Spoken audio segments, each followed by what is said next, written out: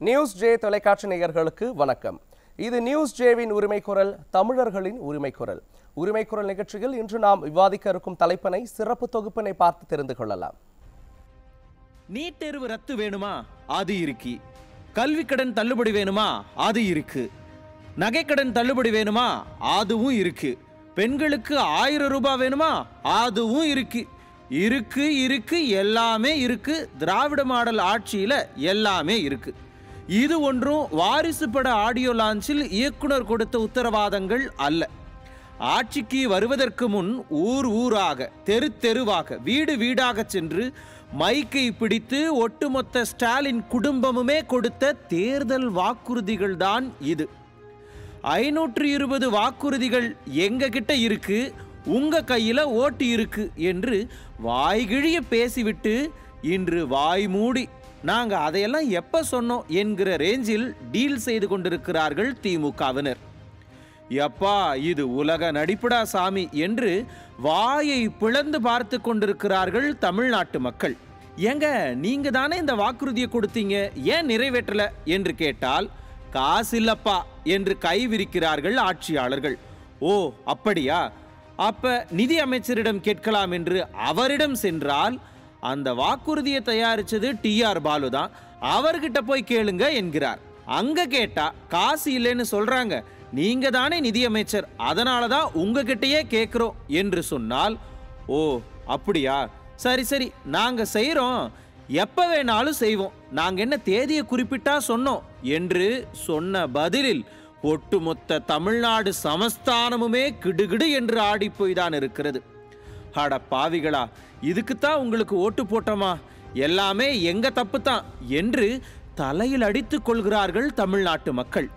இதைத்தான் செல்லும் இடமெல்லாம் மேடைக்கு மேடை திமுகவை போட்டு கிழித்து தள்ளுகிறார் எதிர்க்கட்சித் தலைவர் எடப்பாடி கே. பழனிசாமி நமது நியூஸ் ஜே தொலைக்காட்சியிலும் ஸ்டாலின் அண்ணாச்சி ஐநூத்தி இருபது வாக்குறுதி என்னாச்சு என்று ஒவ்வொரு வாக்குறுதியாக கேட்டுக்கொண்டிருக்கிறோம் ஆனால் பதில்தான் வந்தபாடில்லை.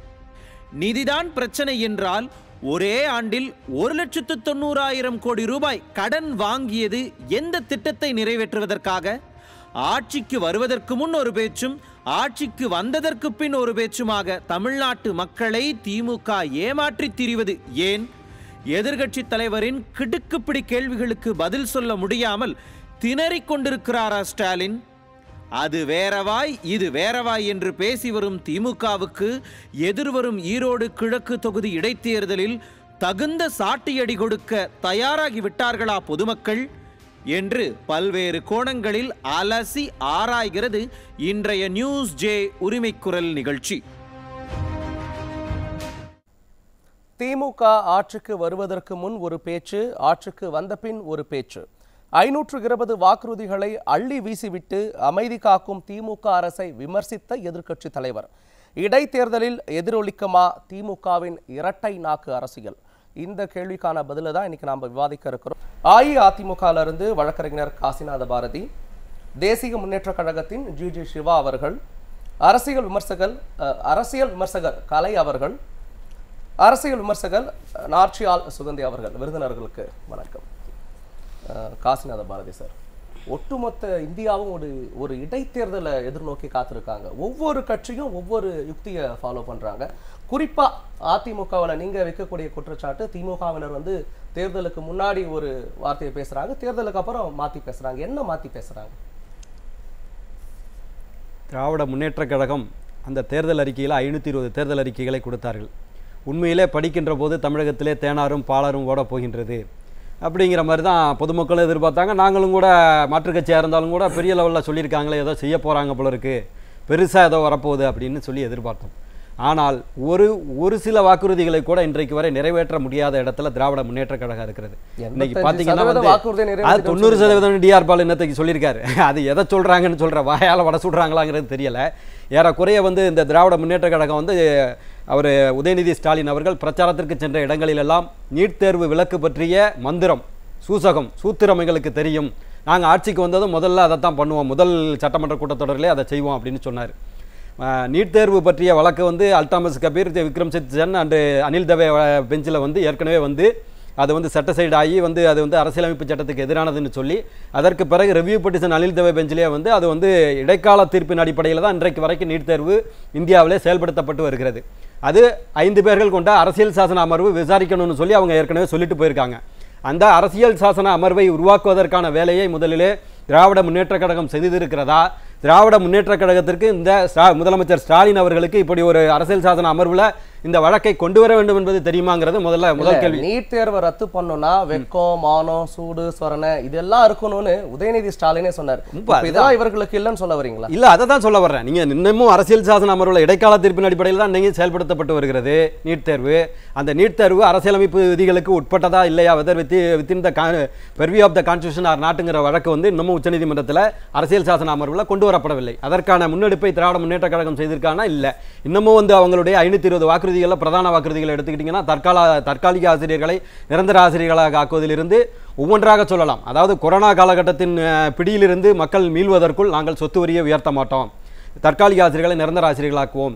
சத்துணவு அமைப்பாளர்களுக்கு வந்து டைம் ஸ்கேல் கொடுத்து அவர்களை பணி நிரந்தரம் செய்வோம். புதிய ஆசிரியர்களை நியமிப்போம்.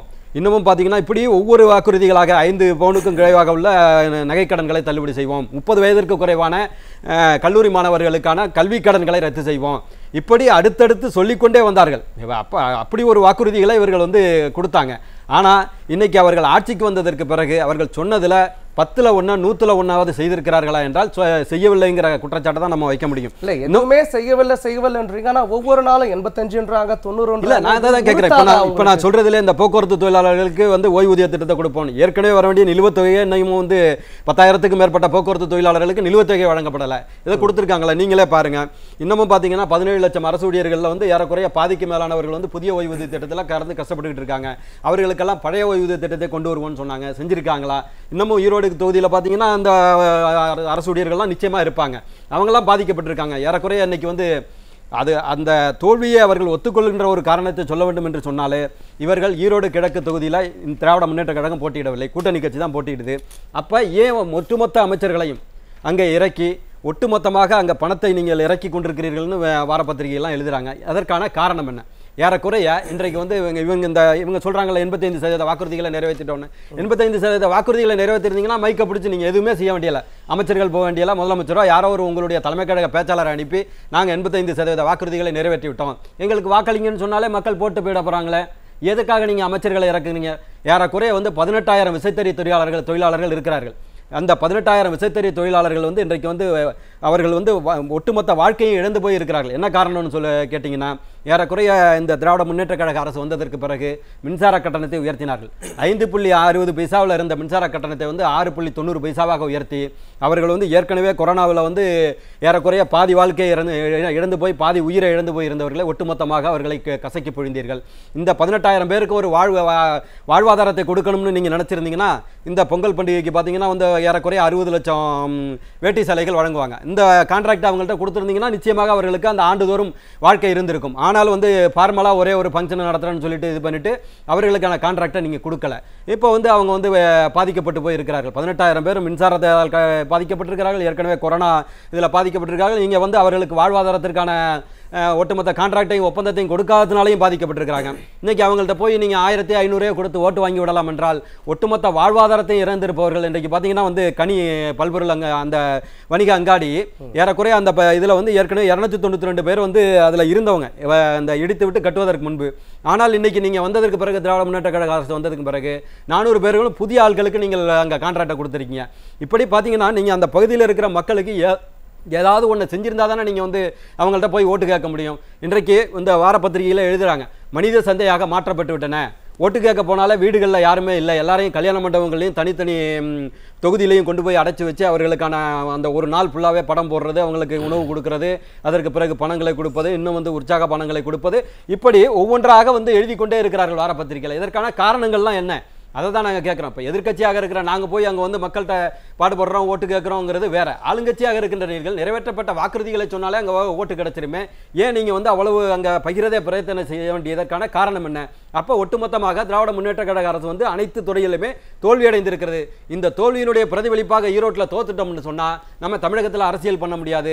அடுத்த இடமா பிரதான எதிர்க்கட்சி தலைவர் எடப்பாடியார் அவர்கள் வெற்றி பெற்று விட்டால் அவர் இரண்டாவது புரட்சி தலைவராக உருவெடுத்து விடுவார். இதை விட்டுவிடக்கூடாதுங்கிற அடிப்படையில் தான் இன்றைக்கி வந்து செயல்பட்டுக்கிட்டு இருக்காங்க. அதனால தான் அழகாக இன்னும் பார்த்தீங்கன்னா வந்து அந்த அந்த தொழிலாளர்கள் கைத்தறி தொழிலாளர்கள் சொல்கிறமே தறி தொழிலாளர்கள் அவர்களுக்கு வந்து இப்போ ஒரு குப்பை வரின்னு ஒன்று போட்டிருக்காங்க குப்பை வரியையும் ரெண்டாயிரத்தி பதினேழுலேருந்து நீங்கள் கட்டணும்னு சொல்லி ஒவ்வொருத்தருக்கும் வந்து முப்பத்தையாயிரம் காஸ்ட் போட்டு அனுப்பிட்டு இருக்காங்க. ஏற்கனவே வந்து ஒரு குற்றுயிரும் குலையுயிருமாக இருப்பவர்களை ஒட்டுமொத்தமாக உயிரே எடுக்கின்ற விதத்தில் தொடர்ந்து நீங்கள் அவங்க மேலே அழுத்தத்தை கொடுத்து கொண்டே இருக்கிறீர்கள். ஆனால் அவங்க ஓட்டு போட்டுருவாங்கன்னு நீங்கள் எதிர்பார்த்தீங்கன்னா எப்படிங்கிறது எங்களுக்கு தெரியல. இவர்கள் எந்த வேலையுமே செய்யாம இருக்கிறது உங்களுக்கு இலகுவா இருக்கும் நிச்சயமாக. இதுதான். இதுதான் இன்னைக்கு நீங்க பிரச்சாரத்துல பாத்தீங்கனாலே தென் தெம்பு இருந்தால் திராணி இருந்தால்னு பிரதான எதிர்க்கட்சி தலைவர் எடப்பாடியார் அவர்கள் பேசுகின்றார்கள். அங்க கூக்குரல் கூச்சல் எழுப்புகிறதுன்னா அவ்வளவு ஒரு மக்கள் வந்து அதை அங்கீகரிக்கிறார்கள் என்பதுதான். அந்த வந்து அதாவது வந்து ஒரு கூட்டத்தை வந்து ஆர்டிஃபிஷியலாக உருவாக்குவதற்கும் தானாக நடப்பதற்கும் அங்கே நடக்கின்ற மக்களுடைய செய்கைகள் அவர்களுடைய சமீட்சைகள் மூலமே நம்ம தெரிந்து கொள்ள முடியும். அங்கே வந்து அவ்வளவு மகிழ்ச்சியாக குரல்கள் வருகிறது என்றால் மக்களுடைய கருத்தை மக்களுடைய எண்ண ஓட்டத்தை பிரதான எதிர்க்கட்சி தலைவர் எடப்பாடியார் அவர்கள் எதிரொலித்திருக்கிறார் எதிரொலித்திருக்கிறார் அப்படிங்கிறதான் சொல்ல முடியும். இன்னும் பார்த்தீங்கன்னா தமிழகத்தில் இருக்கிற சட்டம் ஒழுங்கு சூழல் வந்து மிக கேவலமாக மிக த- இதாக போய் கொண்டிருக்கிறது. ஏறக்குறைய வந்து 72 ரெண்டு லட்ச ரூபாய் வந்து திருவண்ணாமலையில் அடுத்தடுத்த ஏடிஎம்களில் நாலு ஏடிஎம்களில் அரை மணி நேரம் அரை மணி நேரம்னு ரெண்டு மணி நேரம். அது ஏதோ திரைப்பட ஷோ நடத்துறது போல் செய்துட்டு போயிருக்காங்க. அந்த பகுதியில் பெட்ரோல் போக வேண்டிய காவலர்கள் போகலன்னு சொல்லி பிறகு பணி நீக்கம் செய்கிறாங்க அப்போ சட்டம் ஒழுங்கு வந்து உங்களுடைய கட்டுக்குள்ளே இல்லை. தினந்தோறும் நீதிமன்ற வளாகத்திலே கொலைகள் நடந்து கொண்டிருக்கின்றன. இன்னமும் பார்த்தீங்கன்னா வந்து தமிழகத்தில் லாக்அப் டெத்துகள்.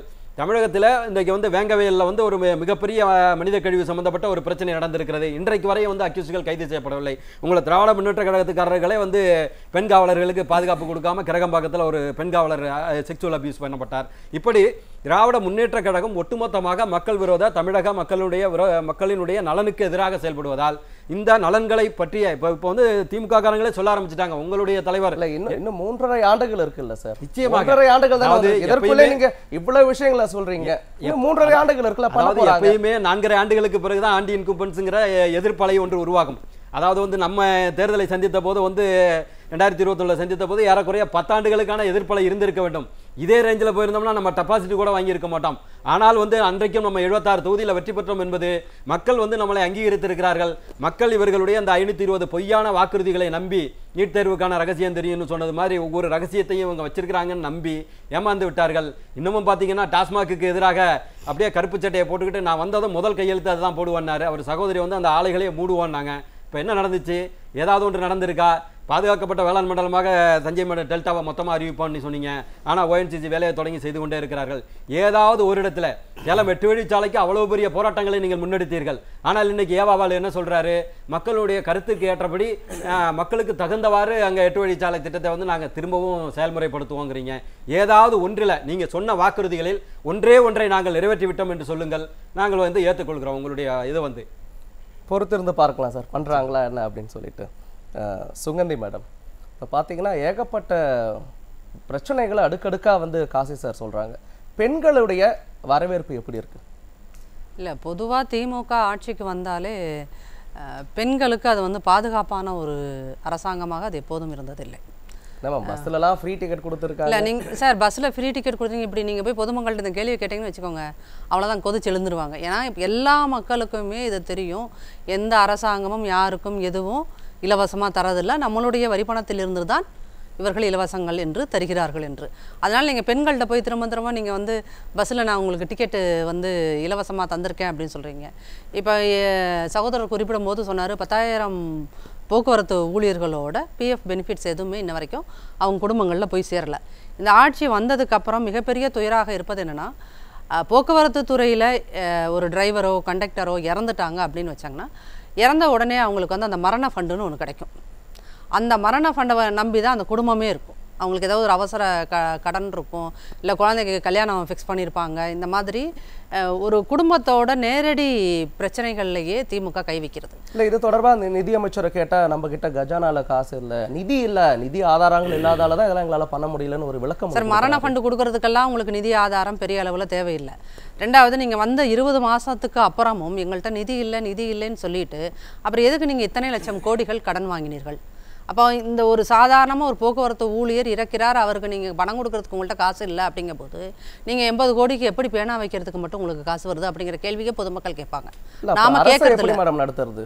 கடன் வாங்காம அரசை எப்படி நடத்துறது? இல்லை கடன் வாங்காமல் அரசை நடத்துறது சாத்தியமில்லை அப்படின்னா இருபது மாதங்களில் நீங்கள் ஒரு லட்சத்தி தொண்ணூறாயிரம் கோடி வாங்கிவிட்டு எந்த மக்களுடைய நலத்திட்டங்களையும் நீங்கள் செய்யாமல் இருக்கும்போது தான் உங்கள் மேலே வந்து மக்களுக்கு அதீதமான கோபம் வருது. இப்ப இதையெல்லாம் மேனேஜ் பண்ண நம்ம நிதி அமைச்சருக்கு தெரியாது. அவரும் வெளிநாடுகள்லாம் போயிட்டு பெரிய பெரிய படிப்பெல்லாம் சார் அவர் வந்து ஒரு இன்டர்நேஷ்னல் ஆர்கனைசேஷனில் ஒர்க் பண்ணினவர் ஒரு சர்வதேச அளவில் பொருளாதார ஞானம் பெற்ற ஒருவர். ஆனால் அவரை நீங்கள் ஃப்ரீ ஹேண்டாக ஒர்க் பண்ண விடுறீங்களாங்கிறது தான் இங்கே கேள்வி. இப்போ அவருக்கும் முதல்வருக்கும் இடையே அவருக்கும் மற்ற அமைச்சர்களுக்கும் இடையே ஒரு சுமூகமான உறவு இருந்துச்சு அப்படின்னா அவர் வந்து இந்த மாதிரி அவருடைய கைகளை கட்டி போடாமல் நீங்கள் இருந்தாலே இன்னைக்கு பாதி பிரச்சனைகள் அவர் தீர்ந்துரும். இன்னைக்கு அவர் வந்து என்னன்னா எந்த அமைச்சருக்கும் முதலமைச்சருக்கும் நல்ல டேர்ம்ஸ் இல்லைன்றீங்க. நீங்களே கோல்முட்டி விடுற மாதிரி இருக்கு சார் இத இதைத்தான் வந்து சாவித்ரி கண்ணன் என்கின்ற ஒரு மூத்த பத்திரிகையாளர் தன்னுடைய ஆன்லைனில் அதை பற்றி எழுதுறாரு. எழுதின உடனே தான் அடுத்த வாரம் அவர் மேலே வழக்கு பாயுது. அவர் வீடு தேடி வந்து சட்டையை பிடிச்சி கைது பண்ணிட்டு போகிறாங்க இங்கே பத்திரிகைகள் ஊடகங்களே வந்து ஒரு அச்சுறுத்தலில் தான் இருக்குது. அது அச்சுறுத்தலில் இருக்குது எப்படிங்கிறத சொல்கிறேன் இப்போ கிருஷ்ணகிரியில் திமுக கவுன்சிலர் ஒருத்தர் இராணுவ ராணுவ வீரரை ஒருத்தரை ஒரு போன வாரம் அடித்து கொன்னதில் அவர் முந்தானத்தை இறந்து போயிட்டாரு. அந்த செய்தி உங்கள் ஊடகங்களில் வந்ததான்னு கூட எனக்கு தெரியாது. அந்த அளவுக்கு எல்லா ஊடகங்கள்லையும் அது ஒரே ஒரு ஆங்கில பத்திரிகையில் நியூஸ் மினிட்டுங்கிற ஒரு ஆங்கில பத்திரிகையில் மட்டும்தான் அந்த செய்தி வந்திருக்குது. அப்போ எந்த அளவுக்கு இங்கே ஊடகங்கள் திமுகவோட அட்டூழியங்களை நீங்கள் வந்து அது இருட்டடிப்பு செய்துங்கிறத பாருங்கள் ஒரு இராணுவ வீரரை ஒரு கவுன்சிலரும் திமுக கவுன்சிலர் அவர் வீட்டு பசங்க ரெண்டு பேரும் சேர்ந்து போய் அடிச்சு இத்தனைக்கு அது ஒரு சின்ன வாய் தகராறு. அந்த வாய் தகராறுல அவரை அடிச்சு அவர் வெறும் முப்பதே வயசானவர் சார். அவர் மனைவி அழுகிற நீங்க சொல்றத பார்த்தா இந்த ஐநூற்று இருபது வாக்குறுதிகளை நிறைவேற்ற உங்களுக்கு திராணி இல்லையான்னு கூட ஊடகங்கள் கேட்கிற அந்த உரிமை கூட பறிக்கப்பட்டிருக்கு. பயப்படுது பயப்படுறாங்கன்னு சொல்ல வரீங்களா? ஊடகங்கள் திமுகவினரை பார்த்து. ஊடகங்கள் இப்போ வந்து ஜூனியர் விகடன் ஒரு பத்திரிகை உங்களுக்கு ஜி ஸ்கொயரை பற்றி எழுதுறாங்க. நீங்கள் அவர்கள் மீது வழக்கு போடுகிறீர்கள்.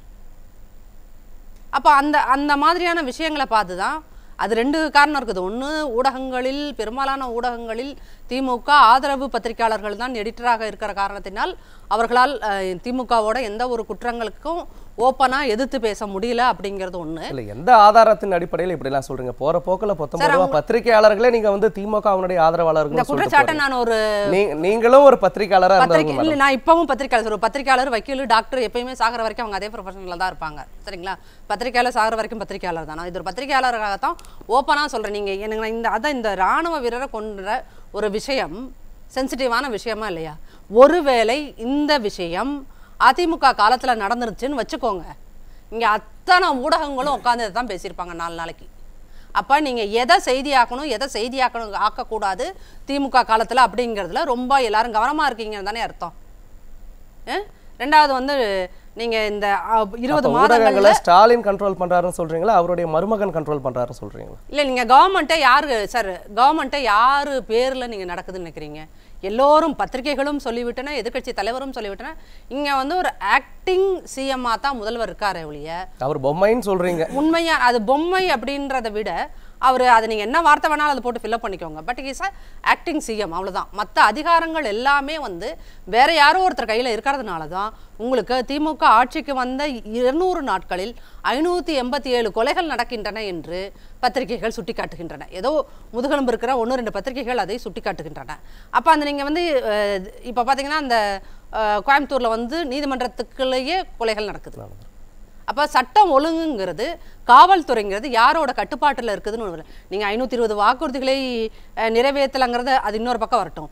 இந்த இர இருபது மாத ஆட்சிங்கிறது எப்படி இருக்கு? எப்படி நீங்கள் இருக்கு? சட்ட ஒழுங்குங்கிறத கொஞ்சம் கூட கவலை அதை பற்றி கவலைப்படுறதே இல்லை அப்படிங்கிறதுனால தான் பெண்களுக்காக நடத்தப்படுகின்ற ஒரு கூட்டத்தில் அங்கே ஒரு பெண் காவலரையே வந்து நீங்கள் வந்து மலாஸ் பண்ணுறீங்க அப்போ பெண் காவலருக்கே பாதுகாப்பு இல்லாத ஒரு ஆட்சியை நீங்கள் கொடுத்துட்டு நீங்கள் வந்து இங்கே பாதுகாப்பாக இருக்கிறார்கள் மக்கள்னு எப்படி சொல்கிறீங்க ரெண்டாவது திமுகவோட பெரிய பலமே அரசாங்க அதிகாரிகள் தான் சார்.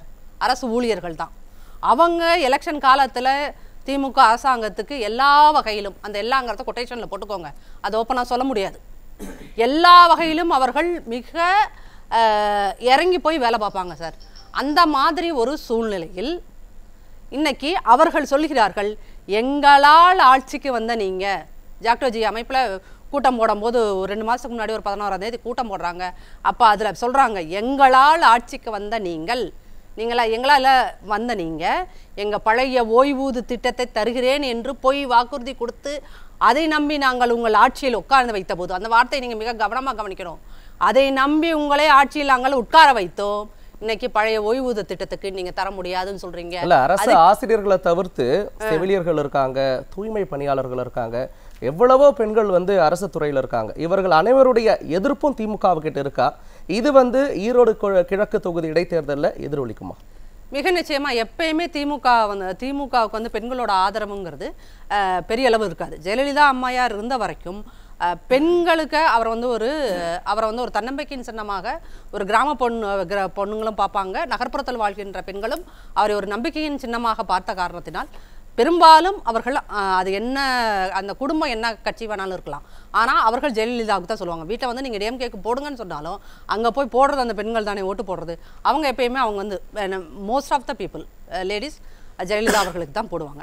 இப்போ என்னென்னா திமுக வந்த காலத்திலேருந்து நீங்கள் இந்த அமைச்சர்கள் பெண்களை பற்றி மேடைக்கு மேடை பேசுகிற பேச்சுகள் இருக்கு இல்லையா? பொது இடத்துல ஒரு மனு கொடுக்க வர அம்மாவை அடிக்கிற சாத்தூர் ராமச்சந்திரனாக இருக்கட்டும் நீங்கள் வேறு என்னம்மா எஸ் சிதானந்தின் ஒரு கவுன்சிலர் நீங்கள் கேட்கறதா இருக்கட்டும். இந்த பண்பற்ற செயல்பாடுகள் இருக்கு இல்லையா? இவர்கள் எப்போதுமே ஒரு நிலவுடைமை சமூகத்து பண்ணையார்த்தனத்தையோட தான் நடந்துக்குவாங்க. அவங்க வந்து ஒரு அமைச்சர்னா நான் மக்களுக்கு சேவை பண்ண வந்த ஒரு சர்வன்ட் அப்படிங்கிற எண்ணம் இருக்காது. நான் ஒரு குட்டி மகாராஜா. அந்த சமூக நீதிக்கான கட்சின்னு சொல்றாங்களே நீங்க சார் சமூக நீதி நீங்க என்னன்னா சமூக நீதிக்கு திமுகவுக்கு ஒரு சம்மந்தம் கிடையாது சார். என்ன மேடம் நெஞ்சுக்கு நீதி நெ- அது சார் அது நெஞ்சுக்கு நீதி இவங்க ஒரிஜினலாக யோசிச்ச கதை இல்லை. அது யாரோ யோசிச்ச கதைக்கு இவங்க அதை டப்பிங் பண்ணிட்டாங்கன்றதான் வச்சுக்கலாம் வச்சுக்கோங்களேன். இவங்க வந்து என்னன்னா நெஞ்சுக்கு நீதிங்கிற கருணாநிதி அவர்களுடைய டைட்டில் எடுத்து வச்சுக்கிட்டா உங்க ஆட்சியில் நெஞ்சும் இல்லை நீதியும் இல்லை அதான் உண்மை. உங்களுக்கு மனிதாபிமான உணர்வே இல்லை அப்படிங்கிறது தான் இதில் ரொம்ப முக்கியமா கவனிக்க வேண்டிய விஷயம் இருக்கு. இப்ப புரியுது மேடம் இருக்கு ஆனா இல்ல அப்படின்னு சொல்றீங்க. அஹ், ஜிஜி சிவா அவர்கள். ஏகப்பட்ட குற்றச்சாட்டுகளை வச்சிருக்காங்க. என்ன நடக்குது திமுகவுல? பண்ணுவீங்களா மாட்டீங்களா? திராவிட முன்னேற்ற கழகத்தில் என்ன நடக்கிறதுன்னு சொன்னால் இது மக்களுக்கான அரசாக தமிழ்நாட்டுடைய அரசின் முதல்வர் ஐயா தளபதி தெளிவாக அந்த அரசை வழிநடத்தி கொண்டிருக்கிறார்கள் இவர்கள் எந்த வாக்குறுதியும் ஒரு சதவீதம் நிறைவேற்றவில்லை. ஒன்று சொல்லுங்கள் என்று சொல்லுகிறேன். நான் அந்த ஒன்றை உடனே சொல்லுகிறேன். சொல்லுங்க. ஆட்சிக்கு வந்தவுடன் கொரோனா பெருந்தொற்று பாதிக்கப்பட்ட அந்த மக்களுக்கு நான்காயிரம் ரூபாய் கொடுப்பேன் என்று வாக்குறுதி கொடுத்தார்கள். வந்த உடனே இரண்டாயிரம் என்று இரண்டு தவணை கொடுத்தார்களா இல்லையா? அதாவது பெரும்பான்மையான அதாவது கிட்டத்தட்ட இவர்கள் சொல்லக்கூடிய ஐநூத்தி இருபது நிறைவேற்றவில்லையே என்று கேள்விக்கு ஒரு நியாயம் இருக்கிறது. ஆனால் தொண்ணூறு- செய்யவில்லை. சிவா தொண்ணூறு சதவீதம் சொன்னீங்க. இப்போ ஒரே ஒரு வாக்குறுதி தான் சொல்லிருக்கீங்க. இல்ல சார். அதை நான் அத்தனையும் சொன்னா நேரம் பத்தாது. நீங்கள் சொல்லுங்க. ஒரு ஒரு முன்னூறு தாராளமா சொல்லுங்க. அந்த தொண்ணூறு சதவீதத்துல ஒரு குறைந்தது ஒரு பத்து. வாக்குறுதிகள் மக்களை போய் சென்றடைஞ்சது வர வர. சார். ஒரு பானை சோற்றுக்கு ஒரு சோறு எப்படி பதமா அதை நான் சொல்லிவிட்டேன். அப்போது நான் களத்திற்கு வருகிறேன். சமூக நீதிக்கும் திராவிட முன்னேற்ற கழகத்தை என்ன சம்பந்தம் என்று சகோதரி சொல்லுகிறார்கள். சகோதரி பேசிக் கொண்டிருக்கிறார்களே இந்தியாவை திரும்பி பார்க்கக்கூடிய வகையிலே ஆண்களுக்கு நிகராக சொத்தில் பங்கு உண்டு என்பதை வரலாற்று சிறப்புமிக்க ஒரு நிகழ்வை சாதனை நடத்தி காட்டியவர் ஐயா கலைஞர் அவர்கள். இதை விட பெண்களுக்கு வேறு எதுவும் நாங்கள் செய்து செய்திருக்கிறோம் என்று சொல்லுது. உள்ளாட்சியில பெண்களுக்கு ஐம்பது சத சதவீத இடஒதுக்கீடு கொடுத்தது யார்? அது சார் திராவிட முன்னேற்ற கழகத்துல சமூக நீதி பற்றி பேசி இல்ல இல்ல நீங்க நீங்க-. சமாளிக்கிறீங்க பெண்களுக்கு வந்து திராவிட முன்னேற்ற கழகம் தான் பெண்களை தூக்கி நிறுத்திச்சு சொல்றீங்க மற்ற கட்சிகளையோ இல்ல அதிமுக கட்சி இப்ப நான் குறை சொல்வதற்காக நீங்க அமரவில்லை. நீங்கள் சொல்வது திராவிட முன்னேற்ற கழகத்தை பற்றி அல்லது தமிழ்நாட்டு அரசை பற்றி சொல்லியிருக்கிறீர்கள். ஸோ என்னுடைய விவரங்களை நான் பதிவிடு ஒன்று மற்றும் ஒன்று ஒரு பொம்மை முதல்வர் என்று சொல்லுகிறார். அப்போது ஒரு ஆக்டிங் சிஎம் ஆக இருக்கிறார். வேறு யாரோ இதை ஆற்றிருக்கிறார் என்று சொல்லுகிறார். இது எப்படி நியாயம்? தினம் தினம் மக்கள் மத்தியில தோன்றி பல கருத்துல பதிவிடுகிற வேற யாரோல ஆட்டி வைக்கிறாங்க இந்த அரசு வேற யாரோல ஆட்டி வைக்கிறாங்கன்னு சொல்லல. அவருடைய மருமகன் தான் ஆட்டி வைக்கிறாங்கன்னு சொல்றாங்க. அது இவருடைய பத்தாம் போதன கருத்துக்கெல்லாம் தமிழ்நாட்டு மக்களுடைய கருத்து என்று திணிப்பது இது எப்- எப்படி ஏற்புடையதாக இருக்கும்? ஒரு குடும்பம் என்று இருந்தால் அது உங்களுக்கும் எங்கள் யாராக இருந்தாலும் சரி அதை வைத்துக்கொண்டு இவர் அத்தனை அரசு துறைகளிலும் குடும்பம் வீட்டுல தான் சார் இருக்கணும். கோட்டைக்கு எதுக்கு வராங்க? நான் கேட்பது மக்களால் தேர்வு செய்யப்பட்ட பிரதிநிதியை தவிர மக்களால் தேர்வு செய்யப்பட்ட பிரதிநிதி தானே சார் மக்களுக்காக வரணும். எதுக்கு அவருடைய மருமகன் அவருடைய மகன் எல்லாரும் வராங்க? மகன் யார்? மக்களால் தேர்வு செய்யப்பட்ட பிரதிநிதி இல்லையா? சம்பந்தப்பட்ட நபர் வேற வேற குறிப்பிட்டு சொல்லுங்களேன் மகன் திமுக தலைவரா எதுக்கு வராரு? மகனுங்கிறதால தானே அவர் வந்து பிரதிநிதியா மாத்தப்படுறாங்க? சார் பேரறிஞர் பதவியேற்புக்கு தன்னுடைய மனைவி ராணி அம்மையாரை அழைத்து செல்லவில்லை. கக்கன் வந்து அமைச்சராக இருந்தபோது அவருடைய தம்பி விஸ்வநாதன் வந்து காவல்துறையில் தேர்ந்தெடுக்கப்பட்ட போது நீ காவல்துறைக்கு வரக்கூடாது. வந்தீங்கன்னா நான் என்னுடைய இன்ஃப்ளூயன்ஸ்ல வந்திருக்கேன்னு சொல்லி பதவிக்கு வரக்கூடாது காவலராக வரக்கூடாதுன்னு சொல்லி கக்கன் சொன்னார். இப்படிப்பட்ட இன்னமும் பேர இது பெ- பெருந்தலைவர் காமராஜர் அவர்கள் வந்து தன்னுடைய குடும்பத்தில் உள்ளவங்க யாருமே வந்து அரசில் பங்கெடுக்கக்கூடாதுன்னு சொன்னார். அப்படிப்பட்டவர்கள்லாம் இருந்த காலத்திலே தன்னுடைய அமைச்சர்களை தன்னுடைய உடன்பிறப்புகளை நம்பாமல் தன்னுடைய மகனுக்கே அமைச்சர் பதவியை கொடுப்பது என்பது தன்னுடைய மற்ற உடன்பிறப்புகளை கட்சியில் இருக்கிற உடன்பிறப்புகளை அவமானப்படுத்துவது கட்சியில் இருக்கிற உடன்பிறப்புகளை நம்பாமல் நடக்கின்ற செயல். தலைவர் சொன்னார் வாக்குறுதியை நிறைவேற்றினாங்கன்னு கொரோனா கொரோனாவில் வந்த ஃபைனான்சியல் கிரைசிஸ் முடிகிற வரைக்கும் சொத்து வரியை உயர்த்த மாட்டோம்னு சொன்னீங்களா இல்லையா? இப்ப வரேன் சார் தொடர்ந்து வரேன் 150 காசி மடங்கு சார் சொத்து உங்ககிட்ட வரியை தொடர்ந்து உயர்த்தியது வரேன். யார்? இல்ல காசி 150 சார் மடங்கு தொடர்ந்து வரேன் தொடர்ந்து வரேன் அவருடைய நேரத்தை நாம கொண்டு போலாம். சொல்லுங்க சார். அதாவது உங்களுக்கு இந்த அரசு மீது ஒரு குற்றச்சாட்டு விமர்சனம் வைக்க வேண்டும் என்று சொன்னால் இந்த அரசில் இருக்கக்கூடிய அங்கம் வகித்துக் கொண்டிருக்கக்கூடிய சட்டமன்றம் பாராளுமன்றம் குறிப்பு சரி தமிழ்நாட்டுடைய அமைச்சர்களை பற்றி வருகிறேனே. இந்த அமைச்சர் இந்த ஊழலை செய்திருக்கிறார். ஆதாரம் என்னிடம் இருக்கிறது நான் நேர நீதிமன்றம் சென்றிருக்கிறேன். ஆனால் நீதிமன்ற வழக்கு நிலுவையில் இருக்குது. நான் வழக்கு இந்த ஆதாரத்தை சமர்ப்பித்திருக்கிறேன். இல்ல சரியா தானே சார் கேக்குறாங்க. மக்களால் தேர்வு செய்யப்பட்டவங்க வந்து இங்க வந்து அரசியல் இருக்காங்களா? இல்ல மக்களால் தேர்வு செய்யப்படாத சபரிசன் போன்றவர்கள் எதற்காக இந்த அரசியல் அது எதிர்க்கட்சியினுடைய கூற்றுக்கெல்லாம் நாங்கள் பதில் சொல்ல முடியாது. மக்களால் தேர்வு செய்யப்பட்ட. இந்த நபர்களை தவிர்த்து எங்காவது அரசு கோப்புகளிலே யாராவது கையெழுத்திட முடிய முடியுமா அல்லது அமைச்சர்களையோ சட்டமன்ற தலைவர்களை அடித்து வைத்து எங்கள் பேச்சு. சொல்ல முடியுமா. இந்த இருங்க, 356 சார், உங்க வந்துரும். பேர்ல பேசுங்க. உங்க நேரத்தில் பேசுங்க.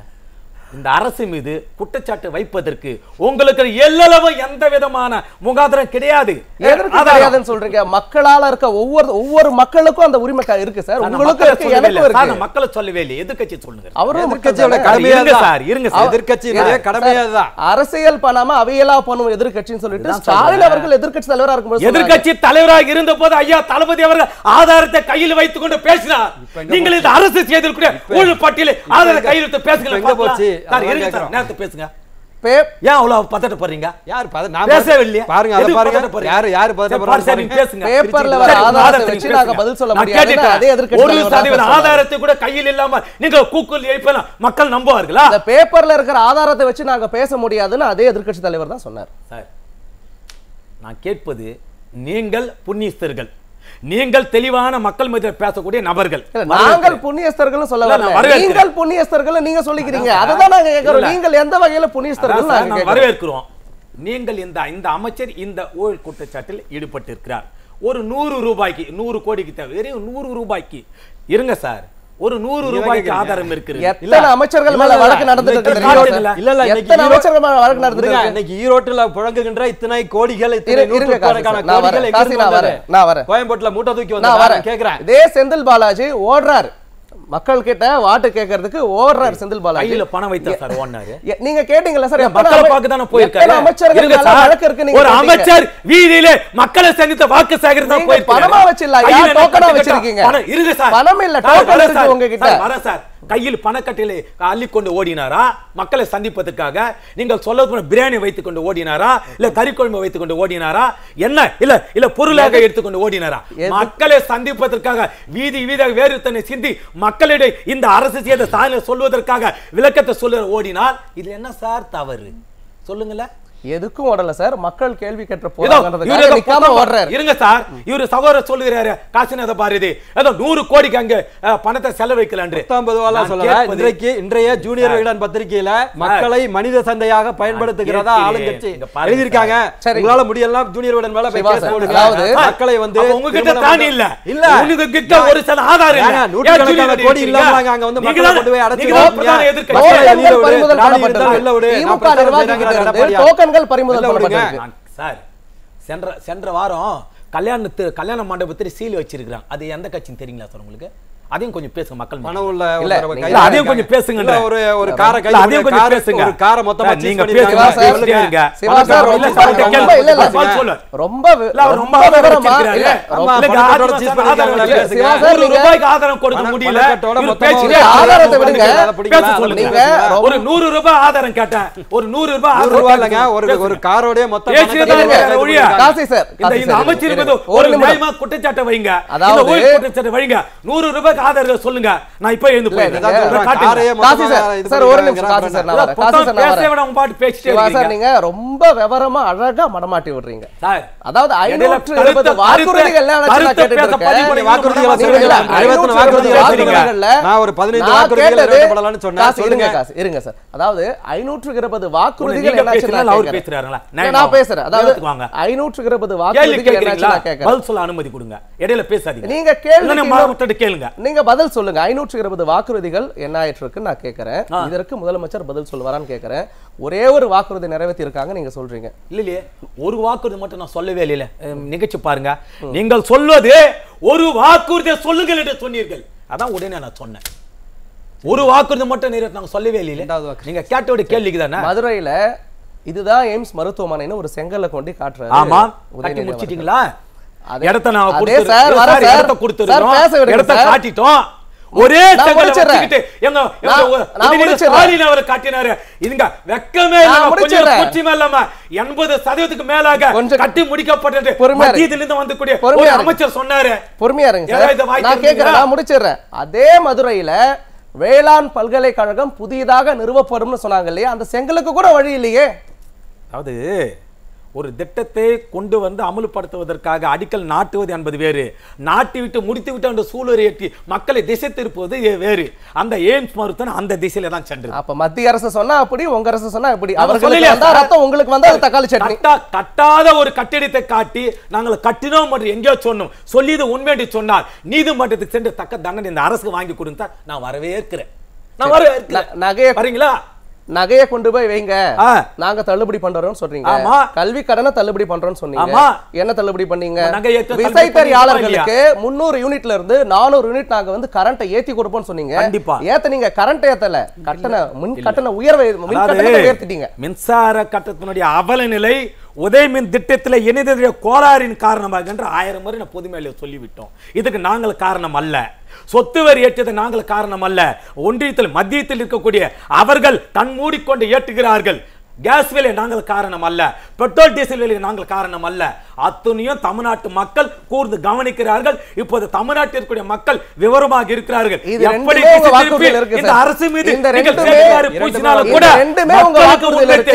கேஸ். வழியும் உங்க வாக்குறுதியில இருக்கு. பெட்ரோல் டீசல் வழியும் உங்க வாக்குறுதியில இருக்கு முதலமைச்சர் ஸ்டாலின் கிட்ட வந்து. பதில் இல்ல? உங்க கிட்டயும் பதில் இல்ல. இது தவறு. திரும்ப வரேன் இது. தவறு சார். திரும்ப சொல்லாதீங்க. திரும்ப வாக்கு- பதிலை திரும்ப சிவா பேசுங்க மடமாத்திர வேலை வச்சுக்காதீங்க கலை சார். நியாயமா பேசுங்க மிரட்டாதீங்க சார் நான் மிரட்டல சார் உண்மையை பேசுறேன் அது எதை வச்சு பதில் திராவிட சொல்றீங்க? முன்னேற்ற கழகம் தினந்தோறும் கேட்கக்கூடாதா? தமிழ்நாட்டை ஆண்டு அவர் கொண்டிருக்கக்கூடிய பத்திரிகையாளர் கேட்கக்கூடாதா? திமுக அரசு ஏன் மக்கள் பயப்படுறீங்க? மத்தியில அவர்கள் தெளிவாக பயப்படுறீங்க? பதிவிடுகிறார்கள் நாங்களும் பதிவிட்டுக் கொண்டிருக்கிறோம் திரும்பி பதில் வரேன் எப்படி சார், சொல்லுங்க? திரும்பி வரேன். அராஜகம் கலை அவர்களுடைய சார் பிறப்புரிமை. அதாவது ஒவ்வொரு ஆட்சியாளர்களுக்கும் ஒவ்வொரு கட்சி தலைவர்களுக்கும் ஒவ்வொரு விதமான ஃபார்முலாஸ் இருக்கும் இப்போ பிரச்சாரங்களில் பார்த்தீங்கன்னா திரு எடப்பாடி கே பழனிசாமி அவர்கள் வந்து பூத் கமிட்டி மீட்டிங்ல இருந்து ரொம்ப ஏன்னா அவர் வந்து தொண்டனாக இருந்து வந்து கட்சி தலைவர் பகுதி பதவிக்கு வந்தவர். அவருடைய செயல்முறைகள் ஒரு பக்கம். இன்னொரு பக்கம் மறைந்த முதலமைச்சர் ஜெயலலிதா மாதிரி வேஷம் போட்டு ஓட்டு கேட்கறதாகட்டும் இல்லை மறைந்த முதலமைச்சர் எம்ஜிஆர் போன்று வேஷம் போட்டு ஓட்டு கேட்கறதாகட்டும். ஆனால் இங்கே அங்கே என்ன நடக்குதுன்னா தற்பொழுது இருக்கக்கூடிய அதிமுக வேட்பாளர் இவி கே எஸ் இளங்கோவன் மாதிரி வேஷம் போட்டு ஓட்டு கேட்குறாங்க. ஏன்னா அவர் பிரச்சாரத்துக்கே வர்றதில்லைன்னு சொல்கிறாங்க இந்த ஃபார்முலாவை நீங்கள் எப்படி பார்க்குறீங்க இல்லை இதில் ஒரு பிரச்சனை என்னென்னா இந்த புதுசாக ஒரு யுத்தியை இந்த தேர்தலில் திமுக கடைபிடிக்கிற முக்கியமான விஷயம் என்னென்னா இந்த பரப்புரை கூட்டங்களுக்கு ஆட்களை போக விடாமல் குறிப்பாக எடப்பாடியார் பேசக்கூடிய கூட்டங்களுக்கு ஆட்களை போக விடாமல் செய்யக்கூடிய வேலை செய்கிறாங்க அதுக்கான பல தடை அரண்களை அவங்க பயன்படுத்துகிறாங்க ஒன்று வந்து வரக்கூடிய வாகனங்களை காவல்துறை மூலமாக நிறுத்தி திருப்பி அனுப்புகிறாங்க வரக்கூடிய அந்த ஈரோடு பகுதி மக்களை தொகுதி மக்களை ஒரு கொட்டகைகளில் அடைத்து வைக்கிறார்கள். இப்ப திருமங்கலம் ஃபார்முலா மாதிரி ஈரோட்ல வந்து formula. ஃபார்முலா ஃபாலோ பண்றாங்க. இல்லை இது ஒரு டிஃப்ரெண்ட் ஃபார்முலா ஒவ்வொரு இடைத்தேர்தலையும் புதிய புதிய உத்திகளை அவங்க கடைப்பிடிக்கிறாங்க. அப்போ இந்த இந்த புதிய ஃபார்முலா அப்படி என்ன பண்ணுறாங்கன்னா எடப்பாடியார் ஒரு- எடப்பாடியார் என்ன சொன்னார்னா நான் அந்த மக்களை போய் ஓட்டு கேட்க போகிறேன் அந்த மூணு மண்டபங்களில் அடைத்து வைத்திருக்கக்கூடிய மக்களை பார்த்து நான் ஓட்டு போ கேட்க போகிறேன்னு சொன்னாங்க. ஏற்கனவே இவங்களை அடைத்து வைத்திருக்கிறார் என்ற புகார் வந்து தேர்தல் ஆணையத்திடம் கொடுக்கப்பட்டது. ஆர்ஓ ரிட்டர்னிங் ஆஃபீஸர் அந்த மாவட்டத்தினுடைய கலெக்டர் அவர். அவர் மாநில அரசினுடைய ஊழியர். அவர் என்ன சொல்லிட்டார்? அது மாதிரி அடைத்து வைக்கலைன்னு சொல்லிட்டார். அப்படின்னா நான் போகிறேன் இங்கே ஓட்டு கேட்க போகிறேன்னு சொன்ன உடனே காலையில் இவர் சாயங்காலம் போகிறேன்ன உடனே போய் மதியம் போய் அடைச்சி வச்சுருந்தவங்களாம் வெளியே விட்டுருங்க பிரச்சனை ஆகிடுன்னு சொல்லிட்டாங்க. வெளியே விட்டாங்க. ஸோ இது இன்னும் ஒன்று என்ன செய்கிறாங்கன்னா இன்னொரு டாக்டிஸ் என்ன பண்ணுறாங்கன்னா இவங்க பிரச்சாரம் பண்ண போகிற வேட்பாளர் போகிற இடத்துல ஒரு செட்டப் ஆளுகளை வச்சு நீ என்ன பண்ண இந்த ஊருக்கு? இந்த இந்த தொகுதிக்கு என்ன பண்ணீங்க நீங்கள் அப்படிங்கிற கேள்வி கேட்குறாங்க. கேள்வி கேட்டு தகராறு பண்ண வைக்கிறாங்க. அவரை திருப்பி அவர் வந்துடுற மாதிரி செய்கிறாங்க அந்த அளவுக்கு அந்த தகராறை விரைவாக அதிகமாக நடத்துகிறாங்க இதெல்லாம் செட்டப் ஏற்பாடு. இதெல்லாம் எனக்கு என்ன தோணுதுன்னா எடப்பாடியார சொல்லியிருக்காரு சீப்பை ஒழிச்சு வச்சா கல்யாணத்தை நிறுத்த முடியுமா? அது எவ்வளோ பைத்தியக்காரத்தனம். அது மாதிரி தான். இந்த மாதிரி வேலைகள் எல்லாம் செய்கிறாங்க ஏன் செய்கிறாங்கன்னா டெஸ்பரேஷன் ரொம்ப இனிமேல் விரக்தியின் எல்லைக்கு போயிட்டாங்க அவங்க. பல்வேறு விஷயங்கள் அவங்களுக்கு எதிராக போகுது. இந்த தொகுதியில் யார் வேலை செஞ்சுருக்காங்க பார்த்தா குடிநீர் திட்டத்தை நிறைவேற்றியது ஒவ்வொரு வீட்டுக்கும் குழாய் மூலமாக குடிநீர் விநியோகம் செய்யக்கூடிய அந்த திட்டத்தை நிறைவேற்றியது அதிமுக அரசு. அதுக்கு முந்நூற்றி நாற்பது கோடி ரூபா செலவு பண்ணாங்க. சாரி நானூற்றி நாற்பது கோடி. சுற்றுவட்ட சாலைகளை அமைச்சாங்க.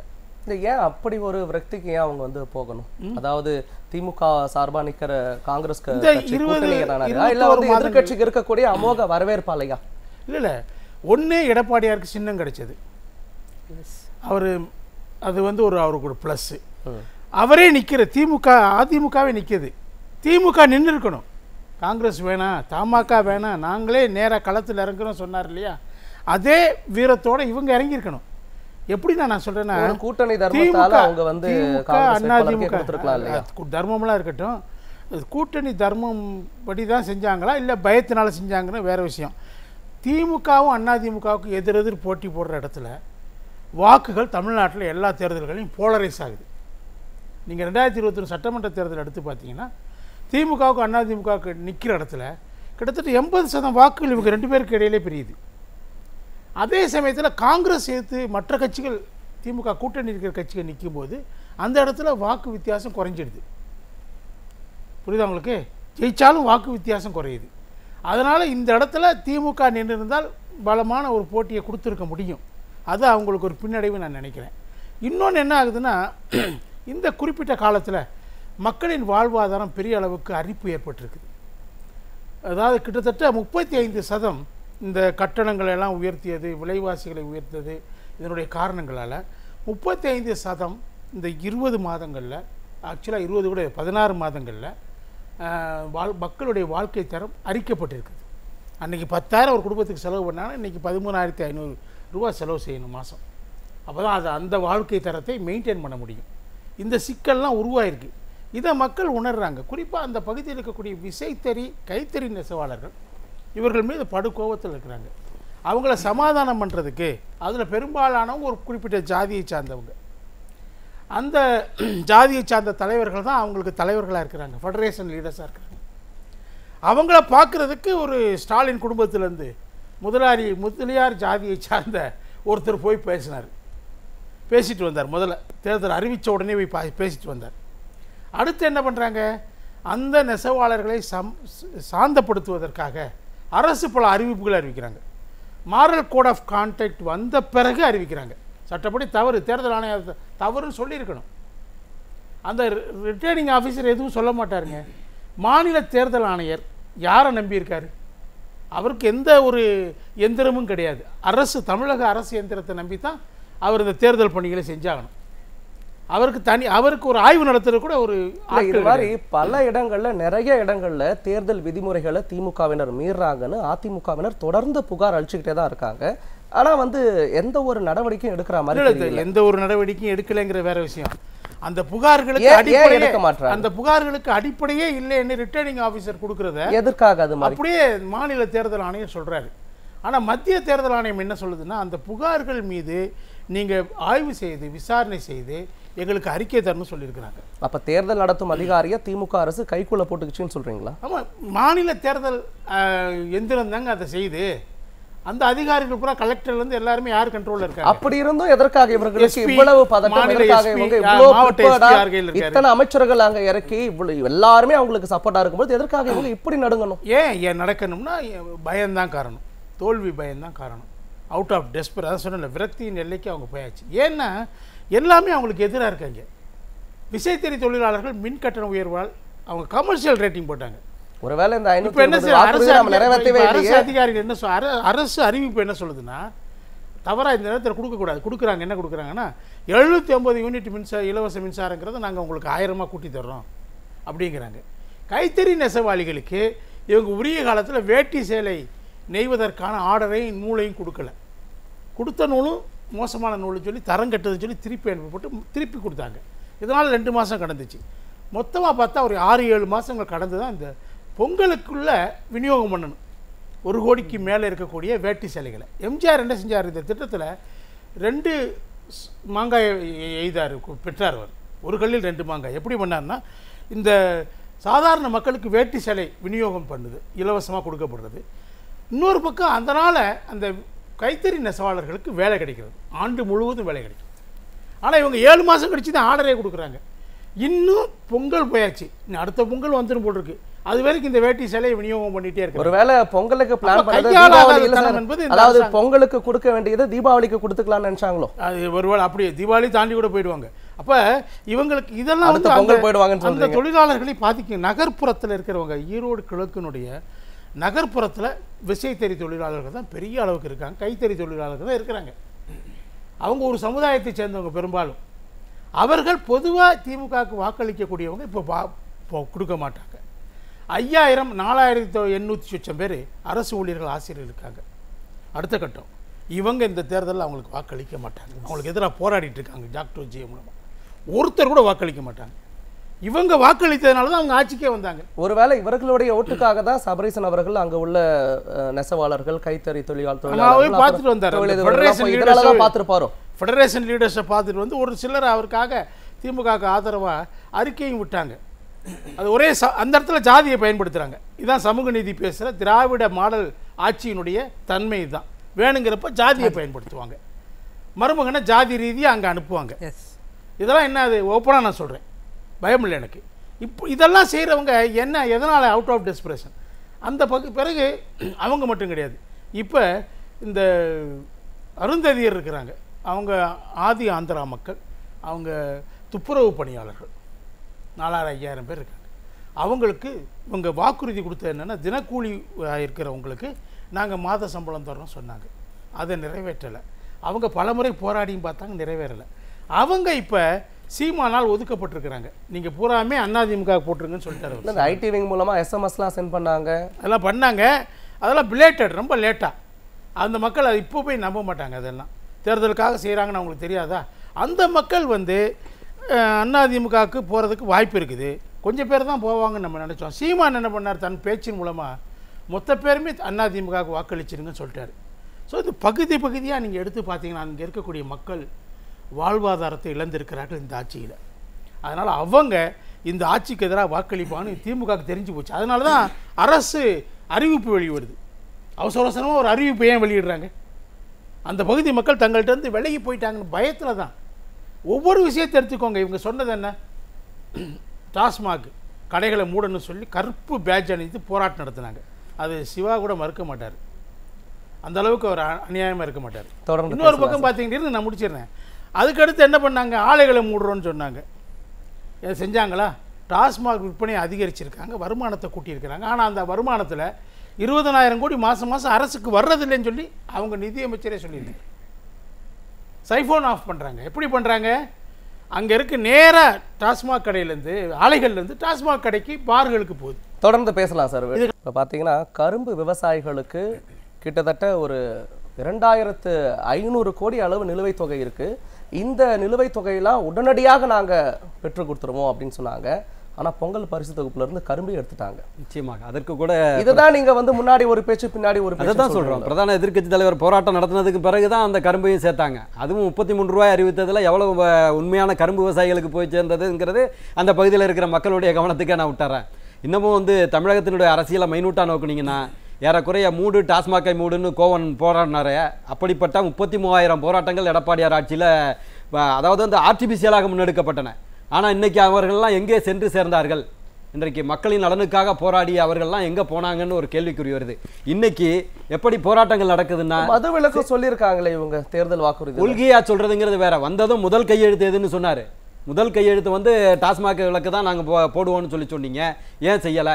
முப்பத்தி மூவாயிரம் போராட்டம் நடந்துச்சு. அதையும் சமாளித்து அன்றைக்கு மக்களுக்கான இன்னமும் வந்து குறிப்பாக சொன்னீங்கன்னா ஏழு புள்ளி ஐந்து சதவீத இடஒதுக்கீடு கிராமப்புற ஏழை மாணவர்களுக்கான மருத்துவ கல்வியில் இதில் வந்து கொண்டு வந்தது வந்து எடப்பாடியாருடைய மிக அற்புதமான திட்டம். இன்றைக்கி வந்து ஆயிரக்கணக்கான தமிழகத்தில் இருக்கிற கிராமப்புற மாணவர்கள் வந்து எம்பிபிஎஸ் இதில் வந்து இடம் கிடைத்திருக்கிறது. இப்படிப்பட்ட அற்புதமான திட்டங்களை எல்லாம் எடப்பாடியார் அவர்கள் கொண்டு வந்தார். அந்த இப்போ வந்து பாத்தீங்கன்னா இவர் சொல்லிட்டு இருக்காரு வந்து செந்தில் பாலாஜி. நீங்க வந்து இடைக்கால பொதுச் செயலாளர் வந்து முதலமைச்சரா இருக்கும் பொழுது நிறைய விஷயங்கள் செஞ்சுட்டாருன்றதுக்காக இப்பொழுதுள்ள முதலமைச்சர் அதே மாதிரி நிறைய. விஷயங்களை இன்னைக்கு ஆசைப்படுறது பேராசையா இல்லையா? ஆசைப்படுறது தவறு கிடையாது. ஆசையை இம்ப்ளிமெண்ட் பண்றதுக்கு என்ன செஞ்சீங்க? அதுதான் நீட் தேர்வுல இருந்து ஆரம்பித்து தற்காலிக அரசு ஊழியர்கள் நிரந்தரத்துல இருந்து ஆரம்பித்து. இல்ல நேற்றைக்கு இவர் சொன்னார்ல. நூறு ரூபா கட்டோடு ஓடுறாரா செந்தில் பாலாஜின்னு. நேற்றைக்கு எட்டாயிரம் மின்சார வாரிய ஒப்பந்த ஊழியர்கள் வந்து எங்களுடைய பணி நிரந்தரம் கோரி நேற்று போராடுறாங்க. இன்னைக்கு செவிலியர்கள் போராட்டம் நடத்தி கொண்டிருக்கிறார். தமிழகத்தில் ஒவ்வொருவரும் தன்னுடைய வாழ்வாதாரத்திற்காக. அதுக்கு தான் நான் அந்த தொகுதியில் பதினெட்டாயிரம் விசைத்தறி தொழிலாளர் குடும்பங்கள்னு சொன்னல பதினெட்டாயிரம்னு எடுத்துக்கிட்டீங்கன்னா இன்று நாள் போட்டீங்கன்னா கிட்டத்தட்ட எழுபதாயிரம் வாக்குகள். இன்றைக்கு வந்து நீங்க என்ன சாதிய ரீதியாக போனாலும் தன்னுடைய சொந்த வாழ்வாதாரத்தை இழந்து தவிக்கின்ற அந்த மக்களுக்கு வந்து நிச்சயமாக நீங்க ஆயிரமோ ஐநூறோ கொடுப்பதால் அவர்கள் மாறிவிட போவதில்லை. அவர்களுடைய வாழ்க்கையே வந்து இந்த பொங்கல் ப- தொகுப்பு வழங்காததுனால வேட்டி சேலை வழங்காததுனால அவர்கள் பாதிக்கப்பட்டு போயிருக்கிறார்கள். அன்றாட வாழ்க்கைக்கு அவர்கள் திணறிக் கொண்டிருக்கிறார்கள். இன்னைக்கு நான் என்ன கேட்கிறேன்? வழக்கு தொடுத்தீங்களா? அப்படின்னு சொல்லி கேட்கிறாரு. இன்றைய ஜூனியர் விடன் பத்திரிகையில வந்திருக்கு. ஒட்டுமொத்தமாக ஈரோட்டில் இருக்கிற இருநூத்தி முப்பத்தெட்டு நீங்க பதில் சொல்லுங்க. இருநூத்தி முப்பத்தி இருநூத்தி முப்பத்தி எட்டு பூத்துகள்லையும் மக்களை மனித சந்தைகளாக அதாவது வந்து இவங்க தான் திருமங்கலம் ஃபார்முலாங்கிற ஒரு ஃபார்முலாவை உருவாக்குனது யாருன்னு கேட்டிங்கன்னா அன்றைய அஞ்சானஞ்சன் மூக்க அழகிரி தான் வந்து அங்கே வந்து தாசில்தார் வந்து கேட்டார்னு சொல்லி அவர் அரைஞ்சார். இது வந்து உலக மக்களுக்கே தெரியும்னு வச்சுங்களேன் ரெண்டாயிரத்தி ஒன்பது தேர்தலில். இன்றைக்கு ஈரோடு கிழக்கு ஃபார்முலான்னு மனித சந்தைகளை உருவாக்குகிறார்கள். கொட்டகைகளில் கொண்டு போய் வச்சு ஐநூறு பேர் ஆயிரம் பேரை காலையிலே லாரி வந்துருது மொத்தமாக ஏற்றி கொண்டு செல்கிறார்கள். இரவு வரை வைத்திருந்து இரவு வந்து ரோஸ் கலர் நோட்டோட தான் வெளில அனுப்புறாங்க. இன்றைக்கு வந்து பதினைந்து ரோஸ் கலர் நோட்டுகளை கொடுப்பதற்கு இன்றைக்கு திட்டமிட்டு இருக்கிறார்கள்னு ஜூனியர் விகடன் பத்திரிகை இன்னைக்கு எழுதுது.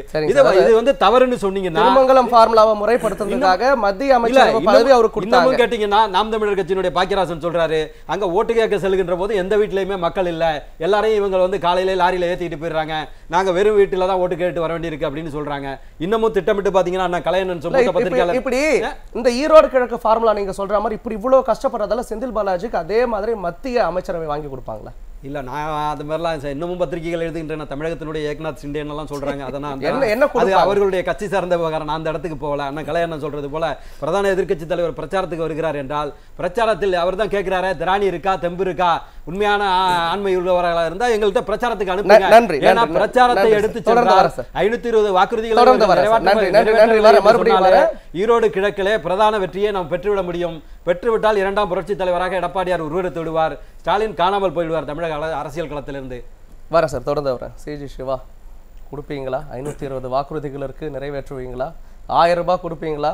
பெண்களுக்கான அந்த ஆயிரம் ரூபாய் கொடுக்கறதுக்கான வாய்ப்புகள் இருக்கா? அத்துணையும் அத்தனை வாக்குறுதிகளும் ஒன்றை தவிர அத்துணையும் நீங்கள் நினைப்பது போன்று அதாவது நீங்கள் சொல்ல பொய்யான வாக்குறுதின்னு சொன்னீர்கள். நாங்கள் எதுவும் பொய்யான வாக்குறுதி சொல்லவில்லை. அந்த பொய்யை தான் ஒன்றினை தூக்கி எறிகிறேன். அத்தனை வாக்குறுதிகளும் நிச்சயமாக நிறைவேற்றப்படும் படிப்படியாக நிறைவேற்றி கொண்டிருக்கணும் ஒன்று. மற்றும் ஒன்று இந்த விசைத்தறி உரிமையாளர்கள் அல்லது தொழிலாளர்கள் மிகப்பெரிய அளவில் திராவிட முன்னேற்ற கழகத்தை அந்த ஈரோடு பகுதியில் குறிப்பாக அந்த கிழக்கு தொகுதியில் இவர்கள் எதிர்ப்பா மனநிலை இருக்கிறார் என்று சொல்ல ஒருபோதும் எதிர்ப்பல்ல.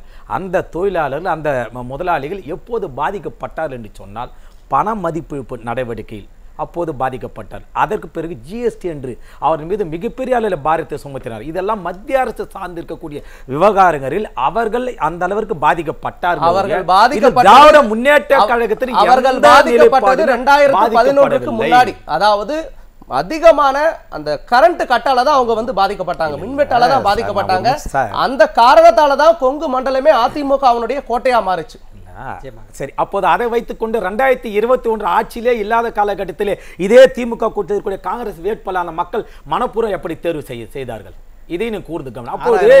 இந்த வெறும் ஒன்பதாயிரம் ஓட்டு தான் சார். பெரிய வித்தியாசம்லாம் இல்ல வெறும் ஒன்பதாயிரம் ஓட்டு ஒரு. ஒரு வாக்கை வைத்துக் கொள்ளுங்களேன். ஒரு வாக்கு விலை மதிப்பற்ற ஒரு கூட அதிமுக. காலத்துல ஒரு. வாக்கும் சாதனையும் வேதனையும் அப்ப வெற்றி தான் முக்கியம். தானே சார்? அப்ப வெற்றி தான் முக்கியம். அதுக்கு என்ன வேணாலும் பண்ணலாம். நீங்க எதிர்ப்பல்ல நன்றி, நன்றி. அதை தான் சொல்லு. ஆகவே இவர்கள் சொல்லக்கூடிய எதிர்க்கட்சி வைக்கக்கூடிய இந்த கூற்றை வைத்துக் கொண்டு ஒரு போது அங்க ஈரோடு மக்கள் அல்ல ஒட்டுமொத்த தமிழ்நாட்டு மக்கள் அரசுக்கு எதிராக திமுக மீது எதிராக யாரும் திரும்பவில்லை. திரும்புவது போன்று திரும்ப இருக்கிறார்கள் என்று போன்று இவர்கள் ஒரு மாய பிம்பத்தை கொண்டு வருகிறார் ஒழிய ஒரு போது மக்கள் திராவிட முன்னேற்ற கழகத்துக்கோ அரசுக்கோ எதிர்ப்பான மனநிலை ஒரு சதவீதம் கூட இல்ல சார். ஜெயஜி சிவா இதுதான் நிஜம்.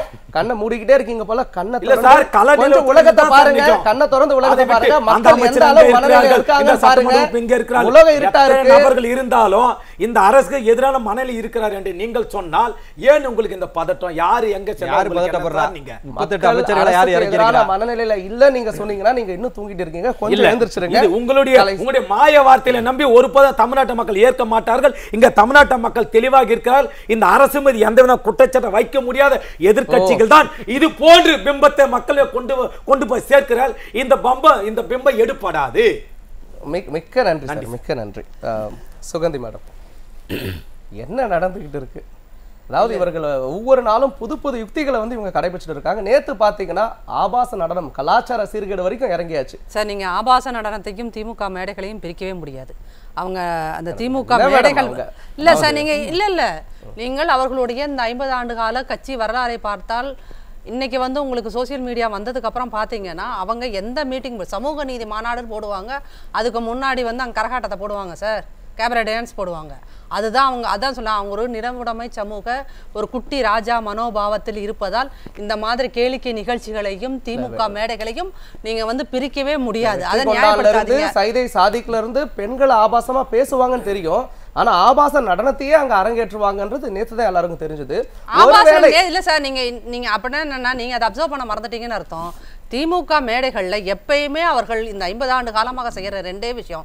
தமிழ்நாட்டில் இன்னைக்கு வந்து ட்விட்டர்லயோ ஃபேஸ்புக்லயோ என்ன திமுக தொண்டன் திமுக தொண்டன் தெரியல. வந்து நீங்க வந்து சார் நான் திமுக உங்க டைம்ல மேடையில குறிக்கிடவே இல்ல. ஆபாசமாவே தெரியல. அதாவது அது. ஆபாசமாவே தெரியல. இல்ல அதெல்லாம் சமூக நீதிக்காக குரல் உங்களுக்கு ஆபாசமா தெரியல. பார்த்து ஏதோ ஆபாச மேடைன்னு சொல்லக்கூடிய ஒரு வியப்பா இருக்குது சார். நீங்க வெற்றிமரன் நீங்க பேச சொன்னா கேட்டீங்களா ஐயா, இல்லையா சொல்லக்கூடிய அவர்களே, சாதிக்க அவர் பேசிய அந்த பேச்சுக்கு தலைமை திமுக நிலைப்பாடு